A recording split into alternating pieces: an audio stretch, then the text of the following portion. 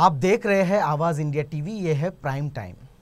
इससे पहले भी पीएम केयर फंड से खरीदे गए वेंटिलेटर पर हमने देश को बताया था कि इसमें बहुत बड़ा भ्रष्टाचार हुआ है और अपने ही दोस्तों की फ्रॉड कंपनियों को फ़ायदा पहुँचाने का काम हो रहा है।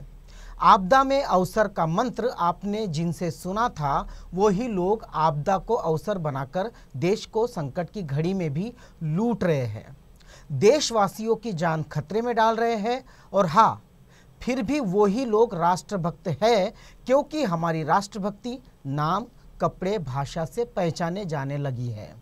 अब ये बात सामने आई है कि जिन कंपनियों से ये वेंटिलेटर खरीदे गए हैं पीएम केयर फंड से, वो कंपनियाँ मोदी जी के नज़दीक के लोगों की है, यानी उनकी है, जिन्होंने मोदी जी को 20 लाख रुपए का सूट सिला कर दिया था।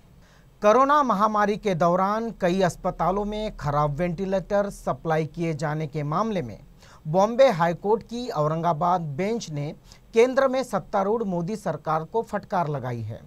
दरअसल, बीते साल कोरोना महामारी की शुरुआत के दौरान सरकार द्वारा शुरू किए गए पीएम केयर फंड से मिले वेंटिलेटर बिल्कुल खराब पाए गए हैं। कई अस्पतालों ने इन मामलों में वेंटिलेटर की खराबी की शिकायत के चलते मरीजों की मौत होने की बात भी कही थी। इस कड़ी में पत्रकार रणविजय सिंह ने ट्वीट कर मोदी सरकार पर सवाल खड़े कर दिए हैं।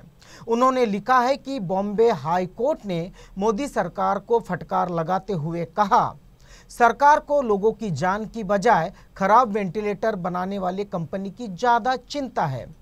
वेंटिलेटर बनाने वाली कंपनी का नाम ज्योति सीएनसी है। ये कंपनी सूरत के उस व्यापारी की है जिसने पीएम मोदी को सूट गिफ्ट किया था। दरअसल बॉम्बे हाईकोर्ट ने मंगलवार को मोदी सरकार से ये सवाल किया था कि खराब वेंटिलेटर के लिए उनके पास क्या उपाय है, जिस पर केंद्रीय स्वास्थ्य मंत्रालय द्वारा जवाब में कहा गया कि इन वेंटिलेटर्स की सप्लाई पीएम केयर फंड के तहत नहीं की गई।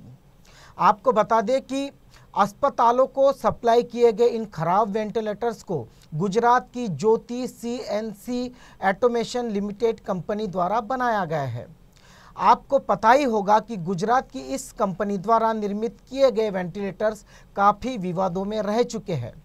दरअसल Jyoti CNC automation limited company के प्रमोटर उस बिज़नेस परिवार से जुड़े हुए हैं, जिन्होंने साल 2015 में देश के प्रधानमंत्री नरेंद्र मोदी को उनका नाम लिखा हुआ सूट तोहफे में दिया था, जो कि काफ़ी महँगा भी था और सोशल मीडिया पर इसके काफ़ी चर्चे भी हुए थे। अगर आपकी भी कोई फ्रॉड कंपनी है तो आप भी एक अच्छा सा कोट प्रधान सेवक को बनाकर दे सकते हैं और एवज में आप अपनी कंपनी के लिए सरकारी ऑर्डर भी ले सकते हैं। जो प्रधान सेवक को कोट गिफ्ट करेंगे, वो देशभक्त कहलाएँगे। बाकी को अंधभक्त जो है पाकिस्तान तक छोड़कर ही दम लेंगे। प्रधान सेवक ने और एक स्वर्णिंग स्वप्न दिखाया था कि भारत की इकोनॉमी पाँच ट्रिलियन वाली होगी और हम विश्व गुरु कहलाएँगे, जो सपना अब सच होता हुआ नज़र आ रहा है। विश्व गुरु को इतना लाचार बना दिया गया है कि इसको रूस, America, Britain, France, Australia, Germany, चीन, सऊदी अरब और संयुक्त अरब अमीरात, सिंगापुर, इन देशों ने मदद की और अब केनिया जैसा गरीब देश भी भारत की मदद के लिए सामने आया है। केनिया ने भारत को 12 टन अनाज दान किया है। इसके लिए विदेश से मदद न लेने का मनमोहन सिंह का फैसला बदल दिया गया है।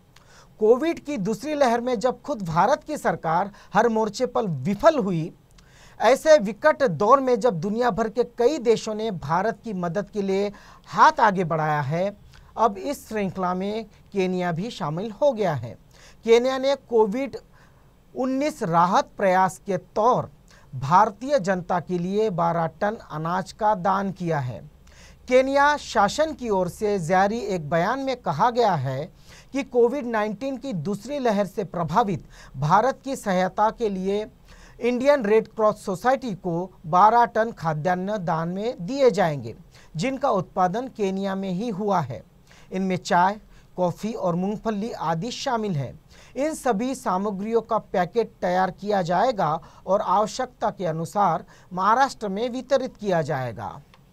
भारत ने इस अफ्रीकी देश के उच्चायुक्त बिली बेट ने बयान जारी कर कहा है कि हम इस मुश्किल के दौर में भारत के साथ खड़े हैं।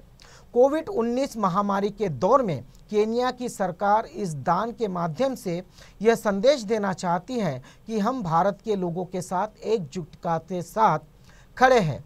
इस 12 टन खाद्य सामग्री को सरकार के सुपुर्द करने नई दिल्ली से चलकर महाराष्ट्र की राजधानी मुंबई पहुँचे। बिली बेट ने कहा कि यह दान उन लोगों को दिया जाएगा जो लोग कोरोना वॉरियर के तौर पर दूसरों की जान बचाने के लिए घंटों तक मुस्तैदी से काम कर रहे हैं। इंडियन रेड क्रॉस सोसाइटी ने केनिया द्वारा भारत को इस दान के लिए आभार व्यक्त किया है। सोसाइटी के महाराष्ट्र शाखा के उपाध्यक्ष होमी खुसरो खान ने इस दान पर कहा कि ये दान उस सहानुभूति का प्रतीक है जो केनिया के लोगों के दिलों में भारत के लोगों के लिए है। यह दान हमें एक बार फिर से आश्वस्त करता है कि केनिया हमारे लिए हर विकट परिस्थितियों में मजबूती से खड़ा है। मालूम हो कि 16 साल पहले तत्कालीन प्रधानमंत्री डॉक्टर मनमोहन सिंह ने यह फैसला लिया था कि दुनिया भर के अपनी मज़बूत और आत्मनिर्भर छवि बनाने के लिए अब भारत किसी भी दूसरे देशों से कोई दान या मदद या पैसा नहीं लेगा। लेकिन मोदी सरकार ने मनमोहन सरकार के इस फैसले को बदल दिया है। अब छोटे छोटे देशों से भी भारत को मदद और दान मिल रही है। दान लेना या ना लेना कोई बुरी बात नहीं है। लेकिन किसी गरीब देश को ये लगे कि भारत की सरकार अपने कोरोना वॉरियर्स तक को इस बुरे वक्त में सहायता नहीं कर पा रही है और उन्हें मदद देनी चाहिए, ये अचरज की बात है। इससे दुनिया में हमारे देश की छवि पर असर पड़ता है। हम मोदी के नेतृत्व में देश की छवि को तार तार होते हुए देख रहे हैं। इसी सिलसिले में हिंदुस्तान अवाम मोर्चा के अध्यक्ष और बिहार के पूर्व मुख्यमंत्री जीतन राम मांझी ने भी पीएम पर निशाना साधा। बोले, हिम्मत है तो डेट सर्टिफिकेट पर भी लगा दो मोदी की तस्वीर। बिहार में एनडीए की सहयोगी पार्टी हिंदुस्तानी अवाम मोर्चा के प्रमुख जीतन राम मांझी के सियासी सुर अक्सर बदलते रहते हैं। कभी वह एनडीए के पक्ष में है तो कभी विरोध में बयानबाजी करने के लिए सुर्खियों में बने रहते हैं। आपको बता दें कि हाल ही में उन्होंने बिहार में नीतीश सरकार द्वारा कोरोना संक्रमण के कंट्रोल किए जाने को लेकर उठाए गए कदमों की तारीफ़ भी की थी। अब उन्होंने कोरोना महामारी को लेकर पीएम मोदी सरकार पर निशाना साधा है। बिहार के पूर्व मुख्यमंत्री और हिंदुस्तानी अवाम मोर्चा के अध्यक्ष जीतन राम मांझी ने बिना नाम लिए ही देश के प्रधानमंत्री नरेंद्र मोदी को आड़े हाथ लिया है। दरअसल कोरोना वैक्सीन लगवाए जाने पर दिए जा रहे हैं टीकाकरण सर्टिफिकेट पर पीएम मोदी की तस्वीर लगी हुई है। इस पर पीएम मोदी को घेरते हुए जीतन राम मांझी ने ट्वीट किया है। उन्होंने ट्वीट कर लिखा है कि वैक्सीन के सर्टिफिकेट पर यदि तस्वीर लगाने का इतना ही शौक है तो कोरोना से हो रही मृत्यु के डेट सर्टिफिकेट पर भी तस्वीर मोदी की लगाई जाए। यही न्याय संगत होगा। उनका कहना है कि कोवैक्सीन का दूसरा डोज लगाए जाने के बाद मुझे सर्टिफिकेट दिया गया है, जिनमें प्रधानमंत्री मोदी की तस्वीर लगाई गई है। देश की संवैधानिक संस्थाओं में सर्वसर्वा राष्ट्रपति होते हैं। इस नाते सर्टिफिकेट पर उनकी ही तस्वीर होनी चाहिए, या फिर राज्य के मुख्यमंत्री की। हिंदुस्तानी अवाम मोर्चा के अध्यक्ष जीतन राम मांझी से पहले भी कई विपक्ष नेताओं ने कोरोना टीकाकरण के सर्टिफिकेट पर पीएम मोदी की तस्वीर को लेकर आपत्ति ज़ाहिर की है। सोशल मीडिया पर भी मुद्दा काफ़ी गरमाया हुआ है।